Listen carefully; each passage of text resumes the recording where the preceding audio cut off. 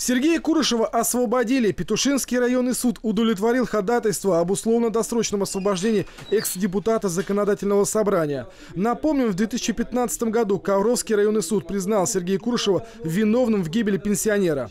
По версии следствия, в ночь с 18 на 19 мая 2014 года в районе поселка Мелехово, управляя автомобилем Range Rover в состоянии алкогольного опьянения, Курышев не справился с управлением, потерял контроль над машиной и допустил выезд на полосу встречного движения, столкнувшись столкнувшись с автомобилем АК под управлением пенсионера Анатолия Ермакова. От полученных травм водитель малолитражки скончался на месте. После совершенного ДТП Курышев бросил на месте аварии принадлежавший ему автомобиль и скрылся с места происшествия. 25 июля 2014 года экс-депутат был задержан и отправлен в следственный изолятор. Уголовный процесс в отношении Сергея Курышева длился почти год. При вынесении приговора экс-депутату судья учел, что у него двое детей и неработающая жена. В итоге Сергей Курышев должен был провести в заключении 5,5 лет. Он также заплатил штраф 100 тысяч рублей и выплатил полтора миллиона рублей семье погибшего. Срок Сергей Курышев отбывал в исправительной колонии номер 2 в городе Покрове.